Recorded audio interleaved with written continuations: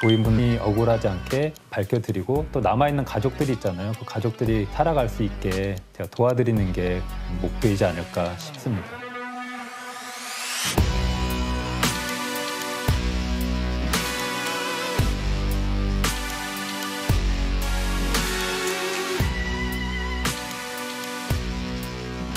아유 아유 아유 안녕하세요. 아유 안녕하십니까. 일로 오시죠. 네, 안녕하세요. 아 예. 오늘 오. 또 이, 어, 앉으시죠. 네, 고맙습니다. 예. 사망 사건 현장에 가장 먼저 출동해서 고인이 남긴 흔적으로 진실을 찾는 김진영 검시 조사관님이십니다. 아유 안녕하세요. 안녕하세요. 네, 안녕하세요. 어, 아, 소개를 직접 좀 해주시죠. 안녕하십니까. 서울지방경찰청 과학수사팀에서 근무하는 김진영 검시관입니다. 구체적으로 좀 어떤 일을 하시는 겁니까? 아, 일단 어디서든지 사망 사건이 발생을 되면 이제 경찰에 신고가 되잖아요. 네, 80대 할아버지시고 사우나에서 쓰러진 채 이송된 건- 내용이군요. 그러면 저희가 이제 과학사 요원하고 검시관이 현장을 출동을 가장 먼저 해서 범죄 혐의점이 있는지 없는지 먼저 파악을 하고 현장에서 보는 일차 사회는 무엇일까라는 추정을 해주는 역할을 합니다.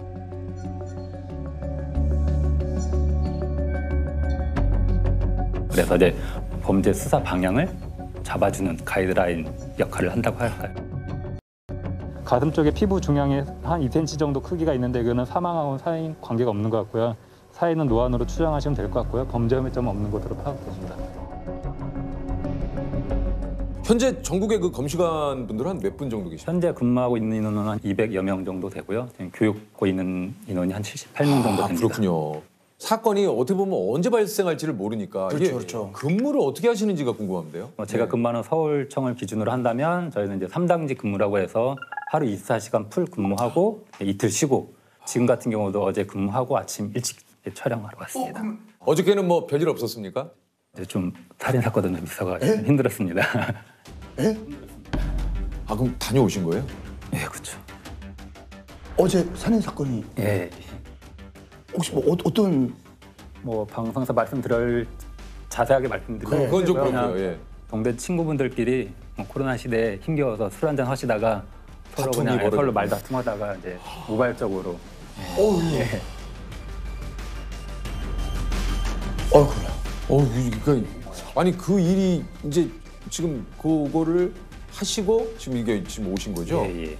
어 이걸 이렇게 얘기하시니까 저희가 아, 검시관님은 이제, 이제 하시는 일이 이 일이다 예. 보니까 워낙에 이제 질병 같은 거 확인되시나요? 안 되고 매일 거의 매일 술을 마셨다고 하고 아, 술 매일 마셨고 이게 이제 검시관이 되기 위한 자격 요건이 좀 따로 있습니까?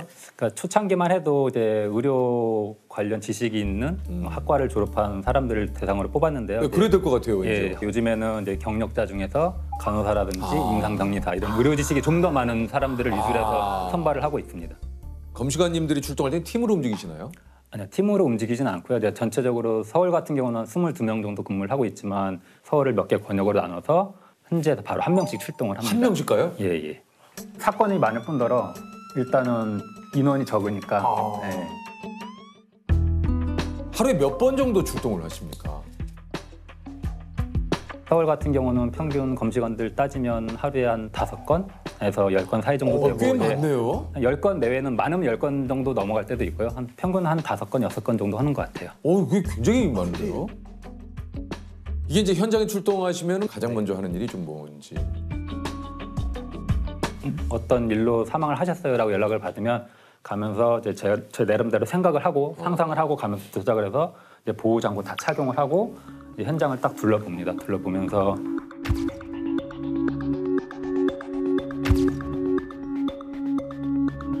어떤 상황인지 도구가 있는지 시신의 방향은 어떤지 아, 설명하고 틀린 부분은 없는지 이런 거 전체적으로 유- 윤곽을 잡은 다음에 어, 잘못된 것이 있다 없다 이제 생각을 하고 검시를 진행을 하면서 이제 퍼즐 맞추듯이 맞추는 거죠. 그 퍼즐 맞추듯이 맞추다가 어, 잘못된 부분을 이제 있으면 한군데 생각을 해놨다가 담당 형사한테 얘기해주면서 이 부분은 좀 잘못이 됐으니까 좀더 살펴보시라. 수사, 좀더 깊이 살펴보시고 수사를 이쪽 방향으로 진행을 하시면 좋겠습니다라고 말씀을 드리는 거죠. 아 이게 뭐 이제 이게 사고인지 아니면 타살인지 예, 뭐 예. 이런 여러 가지를 가지고 한번 면밀하게 이제 조사를 좀 하시는 거군요. 네. 어, 고인은 어떻게 살핍니까? 어, 일단 이제 제 주 업무니까 이제 꼼꼼히 살펴야 되는데 일단 대부분 이제 옷을 입고 계시잖아요. 음. 그러면 겉에만 보면 모르니까 옷을 다 탈의를 하고 물론 탈의하면서 옷에도 손상이 있는지 없는지 다 보긴 하지만 탈의를 다 놓고 이제 머리부터 발끝까지 눈으로 보는 것뿐만 아니라 손으로도 만지고 때에 따라서 냄새도 맡고 이래 가면서 이제 주요 손상 부위를 확인을 하고 형태라든지 크기라든지 깊이라든지 아니면 어떤 방향성이라든지 이런 걸 다 기록을 하고 확인을 하죠. 뭐 이거 같은 거는 이제 상처 크기라든지 뭐 깊이라든지 잴 수 있는 기억자라고 표현한 가장 기본적인 도구 중에 하나입니다. 그리고 현장에서 직장 온도라든지 주변 온도를 재는 데 쓰이는 직장 온도계가 이렇게 있습니다. 이렇게 체결을 해서 현장에서 직장 온도를 재서 어, 사망 시간을 추정하는데 사용되는 도구입니다. DNA 채취 같은 걸 할 때 간편하게 쓸 수 있는 면봉 같은 건데요. 따서 현장에서 닦아가지고 증거를 의뢰를 합니다. 국가수에. 일단 현장에는 뭐 큰다란 범죄 혐의점은 안 보이는 것 같고요. 검시 진행하도록 하겠습니다. 머리 부에 특별한 뭐 부딪힌 흔적이라든지 그런 상처는 없고요. 부패 초기 단계로 좀 생각이 됩니다. 배부에는 위루관이라고 하는 관이 꽂아져 있고요. 후두암이 있는 거, 있다고 추정이 되니까 사인은 후두암 사망 추정 시간은 약 이틀 내외 정도로 이렇게 보시면 일반적인 그냥 법약 소견으로는 그렇고요.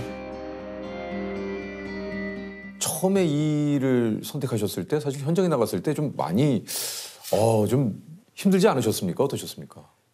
현장을 처음 갔는데 일반 사망 현장과는 틀리게 냄새가 많이 나는 현장이었어요. 근데 그거는 이제 이제 부패된 시신이었는데 어, 그 냄새가 이제 일반인들이 생각하기에는 냄새보다 상상을 초월해요.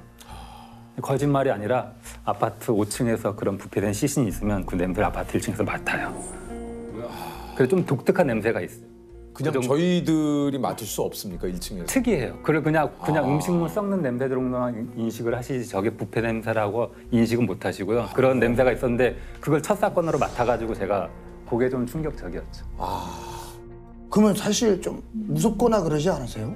사건도 여러 가지 형태가 또 네. 있어서 이게 그쵸. 사실 그래서 가늠하기가 쉽지 않아요. 예, 좀 긴장하면서 솔직히 출동을 하고요. 하여튼 오만 가지 생각을 가면서 출동을 하고 일단 직업으로서 받아들이기 때문에 현장 딱 갔을 때는 마음은 따뜻하게 가지지만 머리는 차갑게 딱 가지고 집중을 해서 아, 그게 쉽지 않으실 것 같은데. 출동을 해서 일차적으로 사건을 판단하기까지 한 시간이 어느 정도 걸립니까?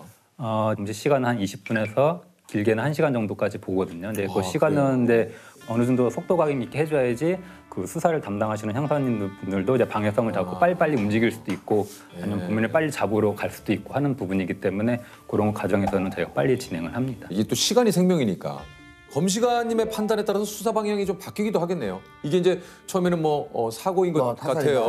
뭐. 네, 네. 근데 이게 이제 타살인 것 같다. 네, 네. 어떤 일에 이런 그 또 증거를 잡아내시거나 그죠? 그러니까 갔는데 뭐 가족분 한 분 중에 뭐 바닥에 쓰러져 계세요. 병으로 돌아가신 것 같아서 이렇게 설명을 듣고 가는데 가- 막상 가다 보면 설명하고 틀린 자세로 있다던가 병하고는 맞지 않는 어떤 몸의 시신 현상이라든가 아. 아니면 설명하고 달, 틀린 몸의 상처라든지 이런 흔적들이 있으면 전체적으로 다시 보고 몸 상태를 검시를 통해서 쫙 확인한 다음에 아 이거는 제 경험상 이런 이런 방향이 맞으니까 수사를 한번 해보십시오 얘기를 하면 어. 이제 그쪽 방향을 맞춰 수사 방향을 따라가는 거죠. 근데, 시- 근데 실제로 그런 일이 있어요?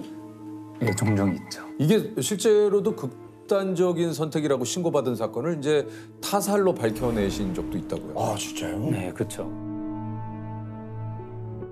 약을 먹고 죽은 것 같다. 평상시 어. 우울증도 있고, 뭐 고혈압도 있고, 당뇨도 있고, 불면증도 있는데 불면증 약 먹고, 뭐 술과 함께 먹고 나서 베란다에서 쓰러져 죽은 것 같다라는 신고를 받고 이제 현장을 출동을 했죠.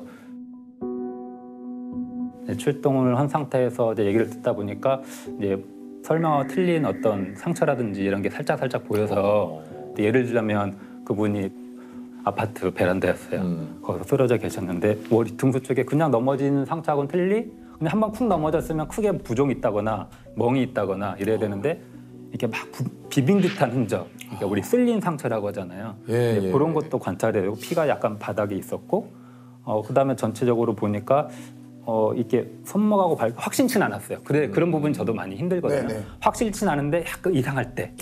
근데 그분 같은 경우는 이게 손발목이 약간 이렇게 묶은 듯한 아, 것 같아요. 결박한 아, 듯한 예. 그런 흔적이 있어서 이거 조금 이상하니까 그 가족분들이 안에 계셨으니까 가족분들한테 좀 얘기 좀 해봐라 왜 저런 게 있었냐 정말 그 약은 어딨냐 뭐 평상시 먹던 약은 어딨냐 확인 좀 하다 보니까 이제 그 자리에서 이제 그 분이 이제 자수를 하게 된 거죠. 아 자수를 하셨어요? 뭐라고? 아 이제 뭐 남편분이었는데 돌아가신 분이 음. 어, 이제 가정 폭력에 허- 저기 막 2, 30년간 휘둘렸다가 그날도 이제 막 폭력적인 행사를 하고 약 먹고 술 먹고 베란다에서 누워서 자길래 이제 우발적인 생각에 더는 못 살겠다 생각에 침대 베개로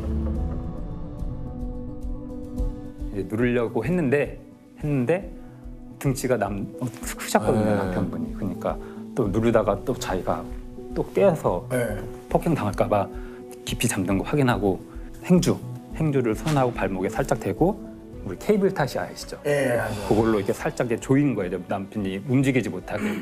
그러니까 이제 행주로 감아놓으니까 겉으로 봐서는 이제 티가 안 나는 거죠. 크게 안 나는 네, 안 거죠. 나는 거죠.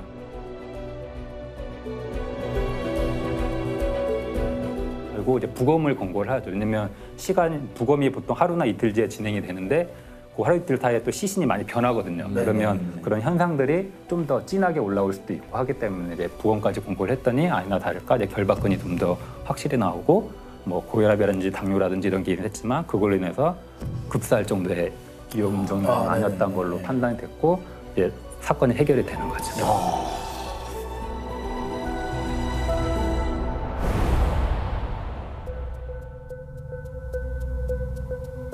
사실 저도 개인적으로 너무 그 안타깝고 가슴이 아팠던 아, 송파구 그새 모녀분의 예. 생활고에 시달리던 모녀 세명이 자택에서 숨진 채 발견됐습니다. 주인 아주머니께 죄송하다는 쪽지와 함께 마지막 집세와 공과금 70만 원이 놓여 있었습니다. 검시관님이 직접 예, 출동을 예. 예, 하셨다고요. 네. 단칸방이었는데 집에서 냄새가 난다는 이웃 주민들의 신고가 있었고 일단 갔는데 딱 보니까 이제 처음에 그 신고하신 분이 아, 여자 안에 세 명이 산다. 근데 보통 여성분 사망 사건들 같은 경우는 저희가 좀 더 관심 있게 보거든요. 그래도 이제 위장이라는 게 있을 수 있잖아요. 네, 네. 위장 살인이 있을 수 있는 거고 이제 그분들의 사연을 저희가 다 모르는 거니까 어머니하고 딸 한 분이 이제 방 한쪽 이불에 각 한 명씩 누워 있었고 다른 딸이 한 분은 이제 침대 매트리스에 누워 있었고 일단 하나하나씩 다 확인하는 과정에서 어, 유서가 있고 그 침대 구석 한편에 이제 번개탄 피는 흔적이 있고 그다음에 창문에 이제 비닐로 막아놓고 테이프로 이렇게 밀봉을 해놓고 저 이제 그런 현장이었는데 그 이제 편지 봉투에 이제 주인 아주머님께 죄송합니다 마지막 집세와 공과금입니다.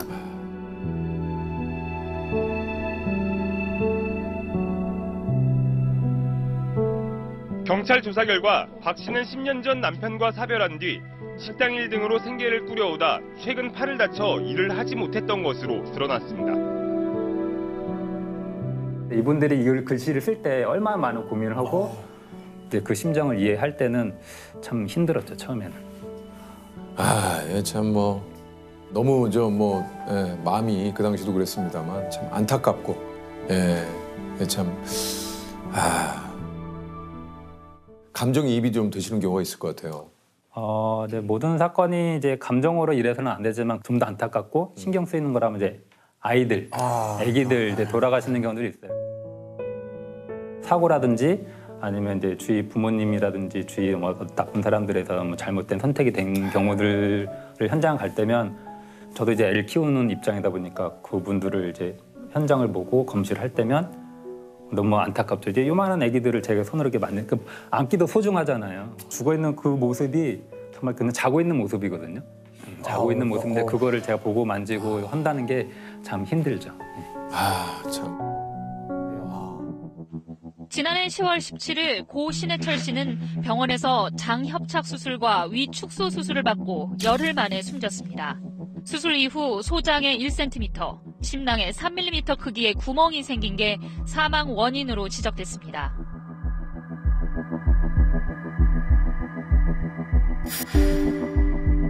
금식 지시를 어기는 등 고인의 과실이 있다고 주장했습니다. 저는 이제 부검 과정부터 참관을 했거든요. 이제 제 부검을 가면 내 장기를 보는데 집도했던 의사가 했던 말하고 틀리는 부분들이 이제 눈에 보이는 거죠. 네, 왜냐하면 네, 네. 저도 간호사로서 수술실에 있으니까 모든 수술 과정을 다 알잖아요. 다 아니까 그 집도는 이렇게 표현했는데 아닌데 저거는 이건데라고 표현하고 또 이제 손상된 부분에 있어서는 어 저거는 합병증이 아니라 의인성, 이제 그 시술을 하다가 잘못된 형태일 가능성이 높은데 이제 그런 걸 많이 봤으니까 간호사로서. 압수수색하는 과정에서 이제 보통 보면은 수술 과정을 이제 의사 선생님들이 이제 사진을 찍어 놓는다거나 동영상을 찍어 놓는거나 연구 자료로 활용하기 위해서 보통을 많이 하거든요. 사진 자료는 달라니까 없다고 얘기를 하는 거예요. 그래서 아, 속으로 분명히 있을 텐데 어딘가 저장이 되어 있을 텐데 옵션을 주면서 검색을 막 하죠 컴퓨터로. 결국 이제 막 숨겨진 폴더에서 이제 찾아대고.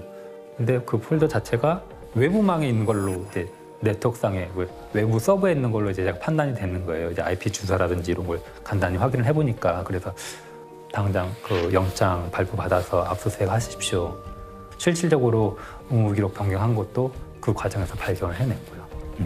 고 신해철 씨 수술을 집도했던 의사 강모 씨가 징역 1년의 실형을 선고받고 법정 구속됐습니다. 과실치사와 환자 의료 기록을 불법 유출한 혐의가 정말 이렇게 숨겨진 죽음들이 많이 있더라고요.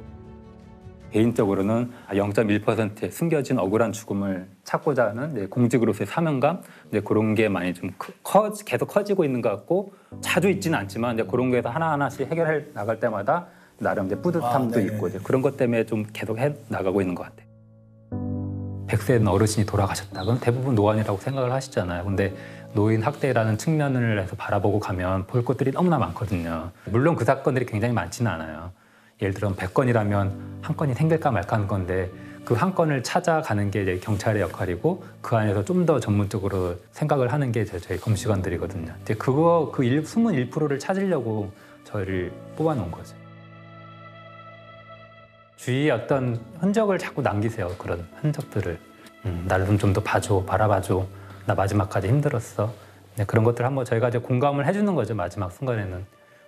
저희 실수 하나로 인해서 손바닥 뒤집듯이 죽음이 억울해질 수도 있고 평온해질 수도 있고 이게 밝혀질 수 있는 사건들이 있기 때문에 최대한 진정을 해드릴 수 있게 아쉬움이 안 남게 고인 편히 보내드릴 수 있게 네, 그런 걸 이제 놓치지 않으려고 노, 노력을 하는 거죠. 공통 질문 한번 좀 현장에서 내가 믿는 건 오직 이것이다. 뭐가 있을까요? 현장에서 내가 믿는 건 현장이다. 오직 오직 현장이다. 현장이다.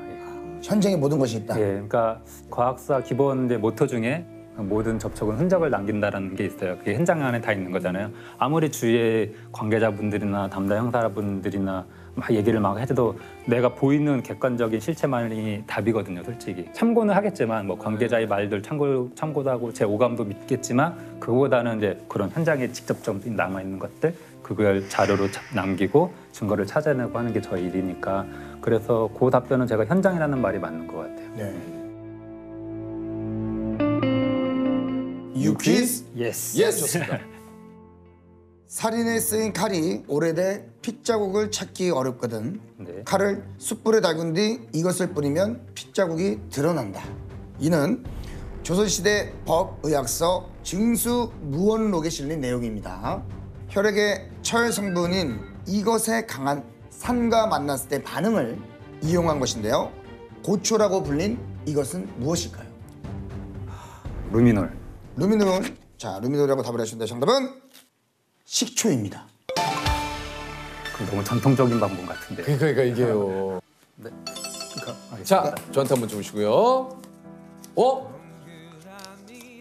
최신 휴대폰. 오! 감사합니다. 야, 이거 자, 야, 저, 아 축하드리겠습니다. 예. 감사합니다. 다시 한번 우리 또 검시관님 함께해 주셔서 감사드리겠습니다. 고맙습니다. 감사합니다. 고맙습니다.